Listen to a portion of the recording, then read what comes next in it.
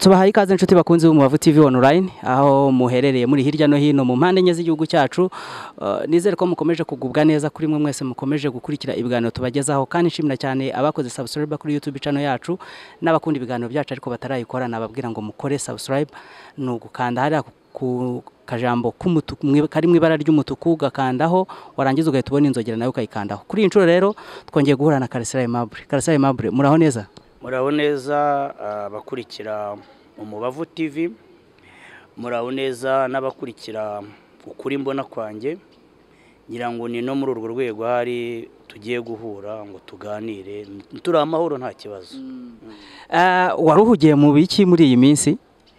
Ah, muri iyi minsi mpugiye mu gukora ibiganiro byanjye ko nakoranye ibiganiro n'abanyamakuru banyuranye. Ah, ariko mbona amahirwe y'uko buriya YouTube hari ibintu yadukoreye byiza. YouTube uri umuhanga mu bintu ibi n'ibi ushobora gushyiraho ikintu ntibisaba ngo ikarita y'abunyamakuru nkeka n'uzabizana azaba akoze amakosa ahubwo wareba content igiyeho niba gusa ibangamye.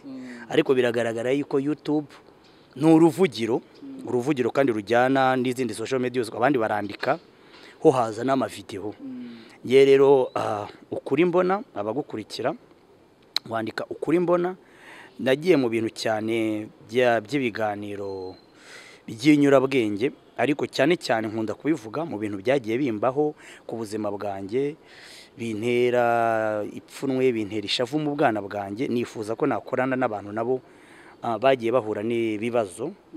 Ni muri urwo rwego rero aba- ababyumvise babyumvise neza bakora icyo bita karasira family. Karasira family ntabwo ari asosiyasiyo ntabwo ari organization ni nk'uko wakumva eh, nk'uko ubona abafana ba ibisumizi bya Riderman ni kubona bariya ba indatwa n'iki nanjye hari abantu bangiye inyuma pe barambwira ati uri umuryango wanjye. Buri muntu akambwira ngira abatantine ngira abatante ngira abaonkre biba byiza. Ariko nanjye ndavuga nti se abantu bantu ndi kubona? Hari uko byanyuze kuri YouTube nanjye wajya ngira abo tuganira nkafasha ni muri urwo rwego rero abari kureba hano YouTube channel yacu ukuri mbona twagiye gusura Nyiramenani aba ahantu biti bweramvura. Turamusura tumukorera ubuvugizi kandi n'ubu hari umusaruro wavuyemo. Mm, byabaye byiza rwose. Nagira ngo wenda ah, abe ari byo tuza no kugarukaho cyane. Ariko ah, n'abadukurikiye reka bumve ijwi rya nyiraminani tujye kuganira nawe atwibwire kuri ubu ngubu ibyishimo afite. Ah, kuri mbona ko akoze akazi gakomeye kuragusura ubu ngubu umeze uti. Kuri ubu ngubu ndanezerewe cyane kubera ko famiye ya karasira yaransuye ahageze amuganiza ku bibazo mfite. Hanyuma rero anshakira ukuntu abantu ba- anyereka abantu bahabamo havamo abantera inkunga ibyo guteka nta kintu nageraga nta kintu nageraga ibyo guteka. Ubuzima bwari bungoye ariko ubu ngubu ndimo kubona hari ikintu bigenda bihindukaho. Noneho mu- muri kano kanya sa nk'usangiza ubuzima bwawe abakurikira umubavu TV online ubundi eh, sa nk'uduhaho ubuhamya utubwire ubuzima bwawe ubu ngubu bumeze gute cyangwa se bwari bwari bumeze gute mbere y'uko eh, karasira family bagusura? Mu buzima bwanjye mbere yuko karasira ans- bansura nawe mfite ubuzima bunshaririye cyane bwo kubaho njyenyine nigunze ariko maje kumubona tuganiye numvise nishimye cyane nanezewe hanyuma numva ko ntari njyenyine numva mfite abantu ba umuryango unyitayeho nuko bituma nishima cyane. Mm. nyine ubuzima bwawe butubwire nk'ubuhamya nku- nku- ugiye nko kuganiriza umuntu wamubwira gute wamubwira ko wari wigunze gute eh, kubera iki wari wigunze? Nabagaho njyenyine numva nta muntu nshaka kuvugana nawe numva ubuzima bwarancanze ariko nyuma yaho na- na- nagiye nsenga no gusenga nkagera nihanganira ubuzima bungoye. Nkajya nkomeza nkasenga ariko bingoye. Ariko muri iyi minsi abantu barimo bagiye bampamagara bamwe bakantera inkunga nkabona ibyo guteka. Ndumva rwose ndaho. Wari ubuzima mfite ubumuga kubaho nyine. Bwaje gute? Ubumuga na- na- namenye ubwenge nsanga naramugaye ngenda nkambakamba Mm. hanyuma? Nyine nbyakira gutyo ngomba gukura muri ubwo buzima. Se? Ababyeyi mama wanjye yapfuye mfite amezi ane. Papa wanjye we ndamufite. Ubu ngubu arahari ni umusaza. Ubana nande mba njyenyine abakasimatike banyubakiye inzu hanyuma rero niyo mbamo. Nyine papa wanjye nyine sinzi nabonaga ndimo kugenda mba mu ruzerero mu buzima butoroshye papa wanjye yabaga yifitiye n'aba- n'abandi bagore ntaza bingoye nkibera mu gasozi hanyuma umurya- umuryango wa kasimatike ubonye ko ubuzima butanyoroheye banyubakiye banshakira uburyo banshakira ahantu nzanibera abafite ubumuga bakunze kuvuga ko bakunda guhura n'ihohoterwa hari ibyo bahuye naryo nta muntu ujya impohotera kubera ko nyine ubuzima bwanjye ninjye bwakira gutyo nta muntu ujya impohotera Mm. nta muntu ujya uhohotera Mm. Ha- hanyuma noneho ubu wabyakiriye ute kuba warabonye abantu bari iruhande bari kugufasha kugira ngo ubuzima bwongere bugende neza nabyakiye neza cyane numva ari abantu bafite umutima w'impuhwe w'imbabazi kugira ngo wegere umuntu uda- udafite imbaraga umuganirize umube hafi ubuzima bwanjye buba bugoye cyane kugira ngo umuntu tugendane ni umuntu ushobora kuba yakwihanganira ubuzima bwanjye. Kubaho biba bingoye bishaka kugira ngo umuntu ugendanye nanjye yihangane. Mm. karasi hanyuma wowe iki gitekerezo cyaje gute? Ku bundi ko twari tukumenyereye mu biganiro uh, by'inyurabwenge waje ku, gufata iyi inisiyative cyangwa se iki cyemezo bigenze gute? Jyewe buriya inyurabwenge mwumvaga tuganira ibisa nk'ibijyanye na politike n'iki? Ni mwebwe banyamakuru mwabimbazaga n'ubu mubimbajije. Twabivugana ariko nabonye bigiye bigira ingaruka. Bya binini n'iteka mpora mvuga aho tugifite ikibazo cy'ubwisanzure mu kuvuga ibyo umuntu atekereza. Ariko ngewe numva yuko kuva abantu baramenye bamenya nanjye ubuzima nanyuzemo busharira. Uretse ko ngewe nanone ntabwo nakwigereranya na nyiraminani. Njye wenda ni mu mitekerereze gusa ariko nyiraminani usanga we ari ikibazo kirengeje. Ubwo rero ngewe naravuze nti buriya nta kintu ki- gishimisha wenda na nyiraminani ashobora kuba yabitubwira. Sinzi nta kintu gishimisha rwose nko kuba hari ibintu wabayemo kubyivura kwa mbere ni ukubikiza cyangwa kugabanya ububabare bw'abandi babifite. Ubu rero ni muri uru rwego n'ubu ndi mu nyurabwenge ariko cyane cyane aho mbonye abantu babura kivugira. Ko nawe nabuze kivugira? Cyane nabuze kivugira. Bene wacu baranta banga kumvugira. Urumva? Ah, inshuti ziranta kandi zibona ukuri ariko zikavuga ziti uriya muntu niba wenda yarahemukiwe gutya ntabwo tugomba ah, kumufasha. Mbaho nk'imfubyi. Nako ndi imfubyi mbura masenge mbura iki buriya bariya umuryango ni cyo kintu gifasha. Niyo mpamvu nakoze karasira family. Ubwo rero iki gitekerezo kugira ngo kize hari umuntu umwe ah, w'umugabo wakoraga hariya muri si wasake mbura amatare ni we wampamagaye. Ntabwo igihe nyiraminani nari muzi. Sinari mfite na gahunda yo kujyayo. Arambwira ati hari umuntu w'igitsina gore ufite ubumuga bwo kugenda akambakamba kubera imbasa. Akaba yarasomye description ya YouTube channel yanjye. Ati niba hari koko hari ibintu by'abantu bahuye n'ibibazo kuko n'abandi bose ari abahohotewe mu mitekerereze ari ababuze kivugira kandi baruzuye baruzuye buriya. Nibwo rero navuganye na nyiraminani nyiraminani arambwira ati nta kibazo kindi ifite njye nikundira gusenga. Yewe hari na benshi twakavugiye ahubwo dutinya yuko uzagungana n'inzego. Kuko hari abandi ugeraho ukakubitana n'ubuyobozi ko buba bushaka kugira isura nziza ugasanga nyobozi wenda we yaramuhishe cyangwa iki? Rero n'abaje nyiraminani ari ahangaha arambwira ati ndasenga kandi nta kibazo ufitanye n'ubuyobozi. Nibwo twashogoshe tujyayo nta hantu ntabwo ari hafi. Ntabwo ari hafi. Twagiyeyo n'imvura iri kugwa ngira ngo ku mashusho yacu barabibona ko haba hatanagaragara neza anagenda agenda ahantu mu byondo. Ah, biranshimisha biranshimisha kubona umuntu nasuye nawe ampa ikaze ko hariho n'abandi buryo batanaguha ikaze. Urumva kandi igihe icyo gikorwa nzagikomeza. Nuko rero byaje ngewe numva ubundi ikintu cyanjye numva ngomba kugira umutima mwiza nkasumbya abo mbona bafite umuti- bafite umutima mubi. Mm. Ah, hari hari ikintu wenda tu- turi buze kukubazaho nyuma ah, cyo wari ukomojeho cyo gutanga n'ibitekerezo by'umuntu ariko ubwisanzure bugasa nkaho ari ntabwo ari ha- ari ntabwo. Eh, gato hari akantu ushaka kugira ngo ko Mm. nzabikora ngiye gusura nyiraminani. Ariko mm, nyiraminani na kano sinzi niba babireba.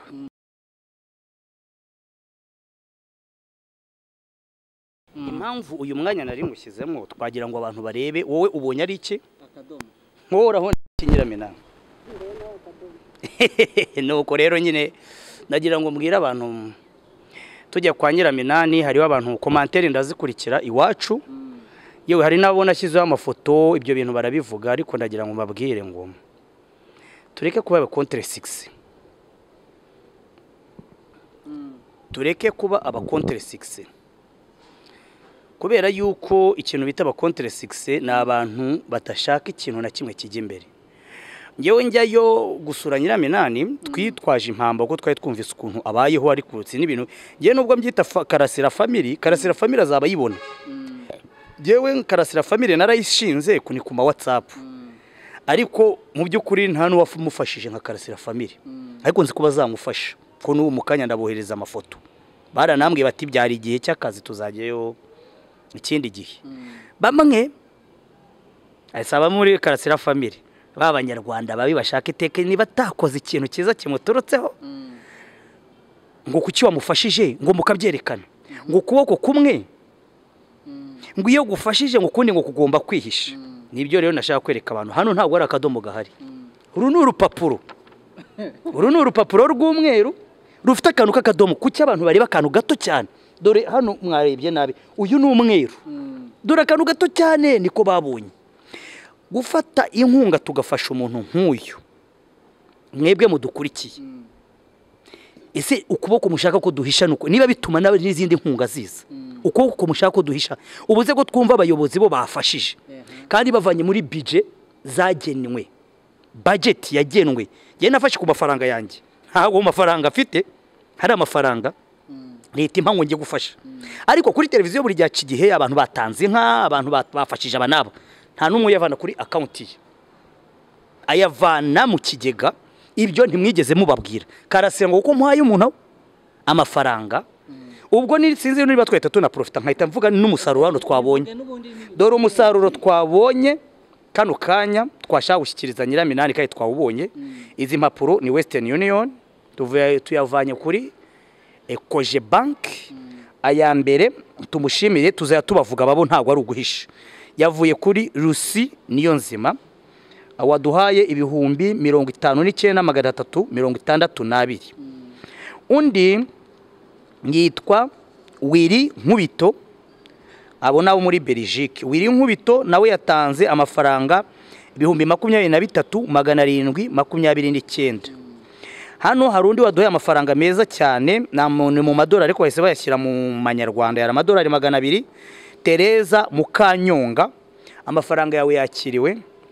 Akaba ari ibihumbi ijana na mirongo irindwi n'icyenda. Fungura turebe nyiraminama aya mafaranga yose nta kintu na kimwe kigomba.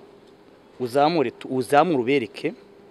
Dore ngaye noneho kwa kuboko mwashakaga ko guhisha mwe mwaguhishe wenda mwe mumufasha ntimuvuge ubu ibi birizana aya nta na rimwe rigomba kujya mu mufuka yaba uw'ukuri mbona uwa karasira urumva n'uw'umubavu twebwe turashishikariza n'ubundi abantu arongera avuge na nimero ko nimero yacyagiye yibwiye ukuri mbona. Nubwo biri bunyure no ku kuri mbona ariko n'umubavu abawukunzi babo batamenye nyiraminani kandi babona uko ameze bamufashe. Urumva? Ubwo rero ni cyo nashakaga kubwira nerekana kano kadomo. Ndabizi iyo bibiriya muvuga twarayisomye yuko ngo ku kuboko niba gutanze ukuguhishe ngo ntabwo ari ngombwa ngo tubigaragaze. Oya hari abantu bakoze ibintu bibi turabazi banyuranye barigaragaza bica abantu bagira gute? Amateleviziyo arafotora twe tuzakora ibyiza tubyigaragaze nimugira ishyari muvuge ngo twirase cyangwa twa. Ibi ni ibyo tugomba kwirata. Uyu ni umusaruro kandi n'abandi baracyaza. Sinzi nyiraminani wenda ko twanatanze nimero aza no kutubwira niba mobayiro mani hari ikintu wabuye ibi byose ni ibya nyiraminani impamvu nari naje kumufasha kuko atazi gukora ibintu byo muri banki. Twari twitwaje ikaramu ngo tumufashe. Nta kindi. Ubu mu kanya turamuherekeza yisubirire ibwera mvura. Adusengere twebwe natwe aduha inkunga. Nyiraminani aduha inkunga nawe namubwiye ku cyumweru ntusenge ejo ze nabwiye ngo usengere. Usabona ibintu bidaciyemo neza ntiwabonye ko ari aho twanyuze bikanga cyane cyane baduha n'amafaranga. Mujye mumenya kwandika amazina uko ameze rwose. Turabasabye. Ngewe nibibananira ndabahaye kwanza nimero zanjye. Nzajya mbabwira ni irangamuntu y'uyu ni we ujya kuyifatira si jyewe. Ariko mwandike neza western union manegaramu ino. Buri karagita buri inyuguti. Bayitaho cyane. Ikintu rero abantu bo hanze bazi ko bazi ko serivisi zabo zirukanka cyane bavuga ati n'ibyangwa telefone oya no kurigisha ntabwo waza utetangura telefone oya barakubwira ati ntabyo turi bugukorere. Murumva uyu ni umukobwa ngira ngo ariko ufite ubumuga kugira ngo azajye kuva aho hantu agenda akururuka birananirana. Kugira ngo twongere tugaruke tumufashe muri ibyo. Kandi bisaba ngo wamubone we ubwe. Keretse abakoresha ibyo bita world Rem- remit. Nko kuri banki ye bigahita biba direct.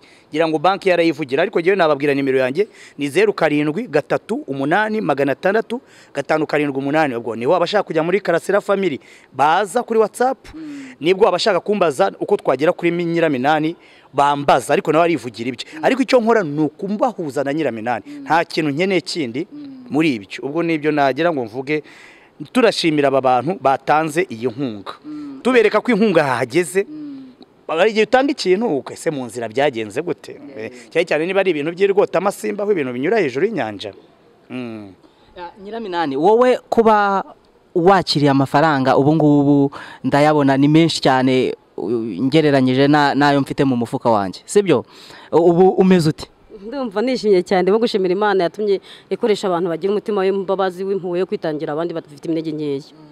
A- aya mafaranga arakumarira iki? Agiye kugufasha iki? Harimo umuntu twavuganye ikibazo nari mfite nkunda gusenga cyane ku- kuba hafi kure kugiye ku kiliziya ntajya ngira ngo bishoboke yambwiye ko ngomba gukodeshamo inzu nyine yo kujya mba hafi ya kiliziya ngiye kuyakoresha nyine nkodeshaho aho kuba nyine kugira ngo mbone uko nzajya gusenga. Hanyuma noneho wowe ubu abagufashije baciye kuri telefone nabo wabitubwira ukatubwira uko umusaruro wagenze? Kuri telefone na- nasaruye ibihumbi mirongo irindwi. Mm. mirongo irindwi nagendaga nku- nkuramo ayatike yo gutega nza gukoresha nza kuri banki nza kugira ngo mfunguze banki nkagenda nguramo ibyo guteka Mm. nyiramina tubwire ubu ngubu uri umukobwa? Ndi umukobwa. Hari abasore se bajya bagutereta? Abasore ni abateshamutwe. Harimo bambwira ibitagira umumaro bitajyanye no gusenga nk'uko nsenga nyine. Abavuga iby'ubusambanyi batavuga ngo twubakane urugo barahari. Ariko ntabwo mbakeneye. Mm. ushaka se ubundi umugabo se uramukeneye? Eh, umugabo ndamukeneye ndamutse mubonye. Uri mu bushake bw'imana mushaka. Mm. hanyuma karasira iki gikorwa urakomeza kugikora cyangwa uragarukira kuri nyiraminani? Oya njyewe uwo ari we wese. Njyewe mu bantu uzi ko njyewe nk'ubu ngubu iyo mbajije mu rwanda sinzi n'undi twabiganiriyeho kambaza uti ninde muntu ubona wenda w'intwari ni uko nkunze kubabura ariko njyewe nkubwira intwari igiye kuri njyewe buriya ushobora kukubwira nka furipo furipo y'igatagara nawe witaga ku bamugaye. Kandi nkeka hari n'inzego zita ku bamugaye kandi narazibwiye ariko mu bavu bazabyumva kurushaho aba bantu nkeka ari inzego. Tugira n'umudepite ubahagarariye. Ntabwo nyiraminani kuba afashwa gutya ni byiza ariko ndumva ari n'inzego zo biri mu nshingano zazo. Ariko umuntu watangije buriya kiriya gitekerezo yari padiri ndagijimana furipo yaje ari umuzungu ahitamo amazina y'abanyarwanda. Bavuga ko yanahisemo n'ubwoko bwari busuzuguritse bariya babumbaga. Niwe muntu nemera buriya mu rwanda agenda namugira n'umutagatifu kuruta bariya bandi wumva bavuga ngo baba batagatifu.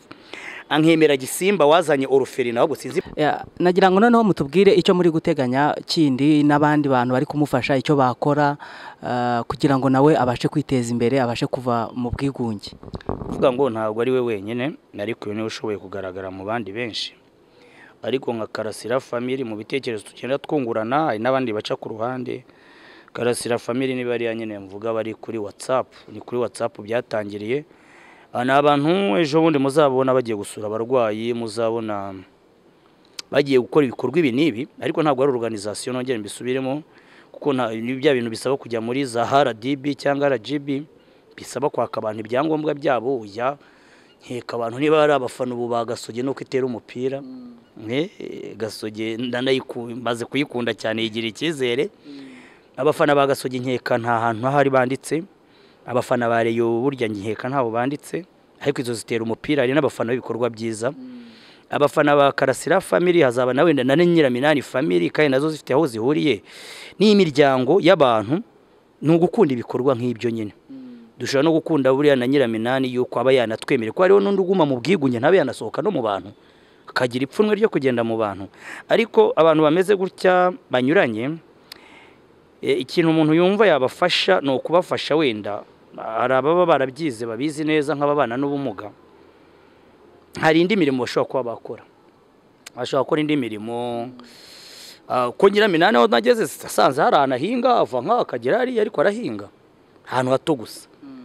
Dushobora gukora ubudozi wenda aya maboko agakora sinzi imashini. Hari ibintu yakora. Ariko tukabafasha yuko uretse kubafasha bagera uko nabo bakwifasha akarinda asaza none nawe hari ibyo yigejejeho. Ni icyo kintu mu by'ukuri ah, karasira family abo tuganira badafite ibibaranga nawe wenda ushobora kuba uyirimo ubishaka abo nzi neza nabo kuri whatsapp ariko n'undi umuhamagaye ku ruhande n'uyu wamumpuje buriya nuko ari muri hariho ushobora kugira ah, gukemanga si ngombwa ngo uri no muri whatsapp. We niba wiyumva muri ibyo bikorwa byo gufasha abantu kuvugira abantu ariko impamvu nayize karasira family yahereye yuko njyewe nabonye family kuri uh, social media. Kera nirirwaga nigunze nkarara nigunze nkava ku kazi nta muntu twavuganye aho ngeze nanywa agacupa nkakanywa ndumwe nkajya kuryama. Ariko ubu bandi kuri whatsapp nganira n'abantu banyuranye umbwira Australia ukuntu hateye umbwira Canada umbwira nkumva ni byiza. Umbwira ati niba ufite ikibazo iki n'iki niba urwaye kutabona ibitotsi dore umuti uyu n'uyu. Abapisikologe bino bamwe mm, twajyaga tunaganira ukabona araguhisha ibintu cyangwa ngo ntiyapfa kwinjira mu kibazo icyo n'icyo ngo ikibazo cyawe ngo numva gikomeye ngo kitagomba kuvugwa undi akaguha kansaringa ati oke niba ari uko bimeze ni nka gutya ni gutya he? Urumva buriya hari abantu baba bagorana bitewe n'aho bari. Urashaka kubona nk'umupisikologe w'umunyayisiraheli? Ah, ah, ntabwo yavura buri umunyapalestina hari ukuntu cyangwa Ah, umwe yumva yuko afite ukuri ntawe urabyumva eh. ariko witaruye ubereka yuko bose ko usanga buri ruhande iteka niba ari nk'ibibazo by'imitekerereze uhungabanywa n'abantu aba n'aba aba n'aba. Kenshi bamwe bigira beza kuruta abandi bamwe baba batoni abandi bakumva ko iteka ari bo victime kuruta abandi. So uh, abantu ubwo rero nabonye umuryango nyine udafite imipaka wa muryango we udafite cishwa hanini ah, uriya muryango rero narawukunze mwita karasira family. Nabo barabikunda cyane bati dusanzwe dufite indi miryango yacu ariko twabonye umuntu wacu. Bamwe bati twabonye grand frere abandi babonye twabonye brother abandi twabonye umwana wacu. Hari abanduta cyane ngaho. Nanjye rero ndavuga ntago abantu mbonye nari mfite amashyushyu yo kubona abantu kongera n'ikibazo ukabona bahangayitse oke mugumaho nanjye ariko reka shaka abandi bantu. Eh tube benshi hari abantu benshi kabisa bafite ibyo bibazo. Bamwe tuzabavugira hari n'abandi tudashobora kuvugira kuko kubavugira byatugwa nabi no baba bakwiriye kuvugirwa ariko buhoro buhoro. Aha nawe tukubavugira byatugwa nabi tuzatwongorera. Mm. Ah, nyiramina ah, wowe ubu ngubu ni iki ushobora gukora mu buryo busanzwe ugikoresheje amaboko cyangwa n'ibindi- n'ubundi buryo ubwo ari bwo bwose? Amaboko mu buzima busanzwe amaboko yo ndayakoresha iyo nicaye ni nko gufura nshobora no kuba ibintu binyegeye nkateka nkateka nkashyiramo ama- amakara ku mbabura nkacana. Mu buryo bwo gucuruza ni iki wakora? Ibintu byo gucuruza biba bishaka kuba naba mfite nk'umukozi wanjye umfasha. Kubera kugenda guterura sinshoboye guterura ukuntu ngenda nyine ntabwo naterura gutya ngo mbashe kugira guhereza abakiriya gutya nanagenda gutyo binshobokere Mm. byagenda gute? Uramutse ubonye ubushobozi ni iki wakora? Nicyo- aba ari cyo kugira byumvikane neza Eh, ndamutse mbonye ubushobozi nashaka umukozi nkasha- nkashaka ahantu nashyira ibyo gucuruza hanyuma nkajya akajya amfasha Mm. Mm. akajya agufasha Mm. Ah, nawe se ugashobora kubicunga washobora kubicunga nabishobora Mm. ubu wabishobora. Eh, ngaho rero uvuga nimero yawe ya telefone na- wa mugabo ashobora kuzira nimero yanjye ni zeru karindwi umunani icyenda gatandatu irindwi kane itanu n'umunani rimwe. Zeru karindwi umunani mirongo zeru karindwi umunani icyenda gatandatu mirongo irindwi na kane itanu n'umunani rimwe. Ngira ngo rero abadukurikiye muri kano kanya ubaye ufite ubufasha iyi nimero ye yayivuze wamufasha uka uh, yaba amafaranga yaba kumubaza uburyo ashobora kubonamo ubwo bufasha cyangwa kumubaza konti ya banki byose wabicisha kuri iyi nimero ye akubwiye. Ah, hanyuma karasira ngira ngo tugarutse wenda ah, ku nyurabwenge ujye ubasha gutambutsa. Muri kano kanya sinzi niba hariyo wabonera abakurikiye umubavu TV niba bishoboka cyangwa hari ikintu wababwira ariko cyabungura kuko inyurabwenge ntabwo ari na ngombwa ko uyitegura kuko ni- ikintu gishobora gufasha abantu bakurikiye umubavu TV online. Oya oya urabona. Ndakubwiza ukuri buriya. Ntawe utinya ishyamba atinya icyo agenda arihuriramo na cyo. Ibintu byo kuvuga. Haguma ubuzima. Reka imana iduhe ubuzima hari igihe tuzavuga. N'akari murore kuko na mbere ntibari bazi ko nshobora kuvuga ibintu bigera kure kuruta yaha bamwe muri abakeka ko ari bo bari bakeka ko wenda ari bo bagomba kuvuga kuruta abandi. Ariko ubu ndatuje nta nta bintu byinshi byo kuvuga nta bintu byinshi byo kuvuga ariko burya n'uhigimye abavuze ibyinshi ahubwo ni ibisigaye gusa reka tubanze tujye turebaho uyu muyaga aho tujyana iyi mihengeri duhura na yo ya buri munsi iyi mitego za rugondi ihene za buri munsi reka tubanze tuzireke. Ni ariko mu minsi hari ukuntu ukeka ko ibi bintu ni ukuvuga ngo ah, dufite ah, ibice by'abantu binyuranye hari rubanda rushaka kwiyumvira ibintu hari n'abandi bumva ko bagomba gukontorora ibintu bivugwa bumva ko kanaka ameze gutya atagomba kuvuga ibi. Reka tubahe umwanya reka tubahe umwanya. Wenda nkeka ari n'ibyo bagomba no guhindura. Muri ibyo tuvuga kuko ngewe ibyo navugaga byenda kumera nk'iby'abanyamakuru ni ibintu mba mfite ibimenyetso. Nkeka abanyamakuru hari amakuru ujya ukora se? Amakuru ntibayaguha wowe ujya gutara amakuru abantu baguha amakuru. Abantu barakora ibintu twe tukavuga ibyo twabonye bakoze. Ba- tukavuga uko tubibona tukavuga uko ba rubanda tuba turi kumwe nabo wenda bo batagira amahirwe yo kugereza imikoro cyangwa amakamera. Oh, reka umuntu abaha umwanya tu. Bajye birinda kuduha amakuru bajye birinda kuduha ishusho itari nziza ni- ni cyo narangirizaho. Umuntu ntiyavuga ko wakanzwe? Oya ibyo reka tubyihorere ibyo ngibyo ibyo ngibyo reka twari mu kibazo cya nyiraminani. Hajemo ibyo gukangwa oya turi mu bibazo mu bintu by'ubugiraneza reka ibyo tuzabizirukire. Nabyo umuntu afite wenda icyo yabivugaho ariko kitari icy'uyu munsi. Uyu munsi wari igikorwa cy'urukundo igikorwa kidakanganye cyane cyo gufasha nyiraminani kwakira imfashanyo abantu bohereje ku buryo bwa western union. Tukaba twayabonye yose ari mu bihumbi magana abiri na make Ah, ni ijana na mirongo irindwi na kongeraho mirongo itanu kongeraho mirongo makumyabiri ah, ni maga- magana abiri makumyabiri. Mirongo ine yose afite hano. Tumusabira yuko ataha amahoro. Ntagenda abigaragaza. Hano haba ibisambo. Ubwo turamuherekeza amaze gufata moto natwe tujye mu byacu ndumva ari ibyo kandi birahagije. Tubashimire cyane rero kuri mwe mwese mwari mukurikiye Umubavu TV online. Nizere ko mukomeje kugira ibihe byiza cyane. Twari turi eh, kuganira na Nyiraminani wafashijwe na na Karasira family eh, cyangwa se binyuze mu kuri mbona.